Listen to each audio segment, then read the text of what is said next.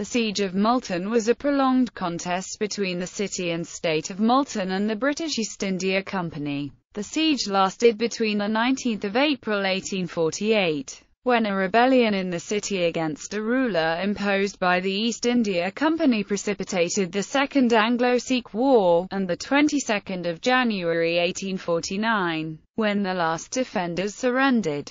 Background Multan had been captured and incorporated into the Sikh Empire of Ranjit Singh in 1818. In 1845, although the population was almost entirely Muslim, it was ruled by a Hindu vassal, Diwan Mulraj. In that year, the First Anglo-Sikh War broke out, and was won by the British East India Company. There was an uneasy peace for three years during which Mulraj attempted to maintain practical independence while being nominally subject to the East India Company. In 1848, Multan had a population of 80,000. It was the center of trade for a wide region, and was renowned for its wealth. There were large stores of spices, silks and valuables. Early in 1848, the newly appointed commissioner in the Punjab, Sir Frederick Currie, demanded that Mulraj pay duties and taxes previously paid to the central Durbar of the Sikh Empire and now in arrears.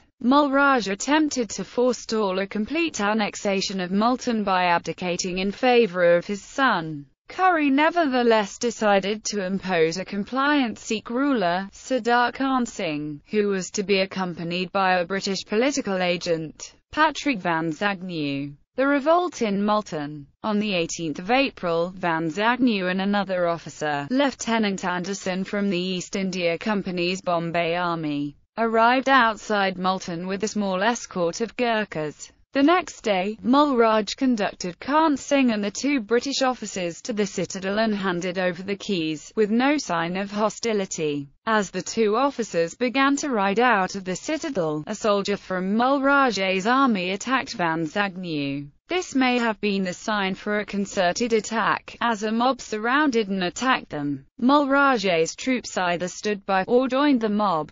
Both officers were wounded, and they and Khan Singh retired to a mosque outside the city, where Anderson wrote a plea for help. A dispatch rider carried it to Currie in Lahore, while a second took a copy via a different route, across the Indus River. During the night, most of Van Vans Agnew's escort left. Next morning, the mob pushed Khan Singh aside and hacked the two British officers to death.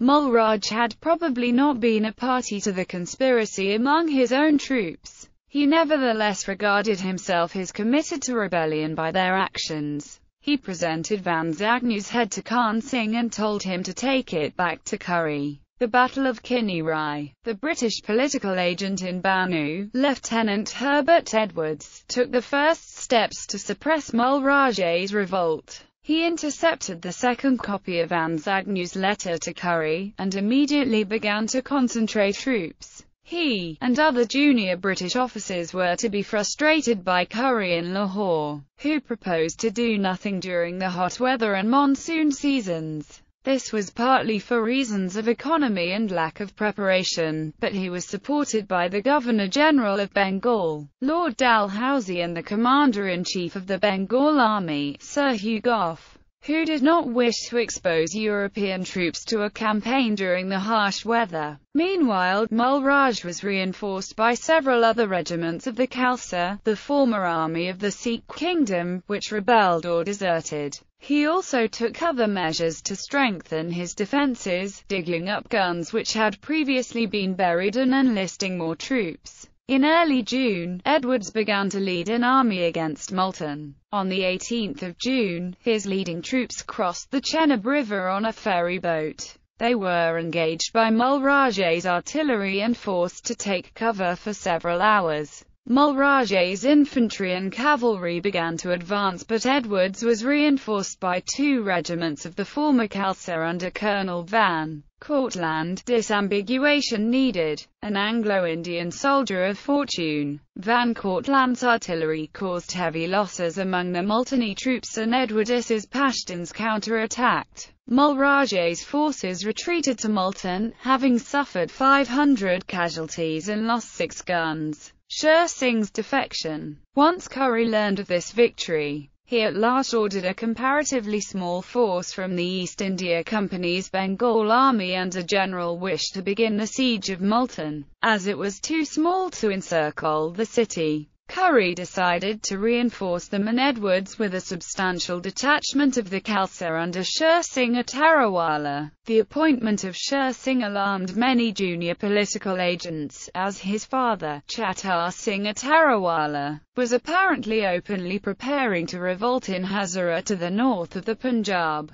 Despite warnings, Currie nevertheless ordered a detachment from Chattar Singh's army under his second-in-command, Jundayal Singh, to reinforce Sher Singh. This allowed Jundayal Singh and other officers to influence Sher Singh and spread disaffection among his regiments. At this stage the besiegers consisted of Wish's division, Edwardes's irregulars, a contingent from the Muslim state of Bahawalpur and Sher Singh's force. On 14 September, Sher Singh openly rebelled against the East India Company. This left the East India Company's forces too weak to maintain the siege, and they were forced to retreat. Most of Edwardes's troops and the Bahawalpur troops dispersed to their homes. Sher Singh and Mulraj nevertheless were not prepared to cooperate. The siege Late in November, Wish was reinforced by a substantial force from the East India Company's Bombay Army.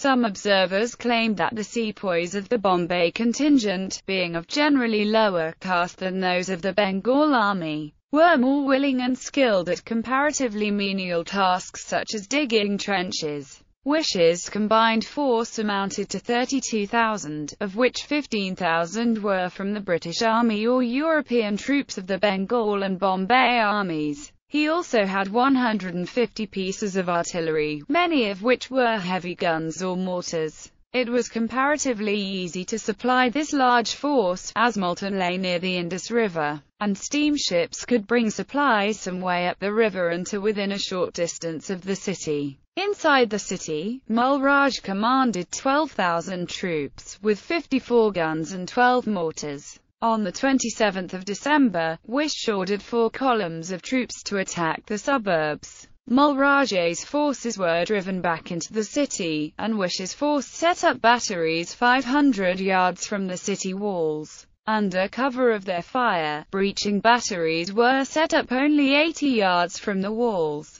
and created two breaches in them while causing great damage in the city. On 30 December, the main magazine in the citadel exploded, killing 800 of the defenders. Mulraj nevertheless maintained his fire and sent a defiant message to Wish, stating that he still had enough powder to last a year. He attempted to mount a sortie against the besiegers on 31 December but this was driven back. Wish ordered a general assault on 2 January 1849. The attackers successfully scaled the breaches, and the battle became a bloody house-to-house -house fight in the city, in which many defenders and civilians were killed indiscriminately. Wish ordered the civilians to be herded into the main square. He may have intended to spare them from further fighting but the action of corralling them was also accompanied by further casualties. With the fall of the city, only the already scarred citadel remained, but it held out for another fortnight against heavy bombardment. On 18 January, Wish's sappers exploded three mines under its walls, causing heavy losses and destroying large sections of its walls. Mulraj offered to surrender if his life was spared, but Wish insisted on unconditional surrender, and on the 22nd of January, Mulraj gave himself up with 550 men. Aftermath Corporal John Ryder of the Bombay Fusiliers later wrote of the city after the siege, the British gained vast quantities of loot. Mulraj's treasury was worth £3 million, a huge sum for the time. There was also much looting in the town, by both British and Indian soldiers. With the fall of Multan, Wish's army was able to reinforce the main Bengal army force under Sir Hugh Gough. Wish's heavy guns were decisive at the Battle of Gujrat, which effectively broke Sher Singh's and Chattar Singh's armies and ended the war. Mulraj was placed on trial for the murders of Anzagnew and Anderson. He was cleared of premeditated murder, but was found guilty of being an accessory after the fact, in that he had rewarded the murderers and openly used the deaths as pretext for rebellion. Mulraj was sentenced to death, but the sentence was later commuted to exile for life. In August 1849, the Indus and Chenab rivers overflowed, and the heavily damaged citadel was washed away, eventually resembling an island of mud, amidst the floods. Order of battle British Regiment 3rd King's Own Light Dragoons 9th Queen's Royal Light Dragoons. 14th The King's Light Dragoons. 6th Queen's Light Dragoons. 10th Foot. 24th Foot. 29th Foot. 32nd Foot, 60th Foot 1st Battalion, 61st Foot, British Indian Army Regiments 1st Bengal Light Cavalry, 5th Bengal Light Cavalry, 6th Bengal Light Cavalry, 8th Bengal Light Cavalry, 3rd Bengal Irregular Cavalry, 9th Bengal Irregular Cavalry, 11th Bengal Irregular Cavalry, 14th Bengal Irregular Cavalry, 2nd European Light Infantry, 8th Bengal Native Infantry, 15th Bengal Native Infantry, 20th Bengal Native Infantry, 25th Bengal Native Infantry, 30th Bengal Native Infantry, 31st Bengal Native Infantry, 36th Bengal Native Infantry, 45th Bengal Native Infantry, 46th Bengal Native Infantry, 51st Bengal Native Infantry, 52nd Bengal Native Infantry, 56th Bengal Native Infantry, 69th Bengal Native Infantry, 70th Bengal Native Infantry, 72nd Bengal Native Infantry, 25th Mountain Battery,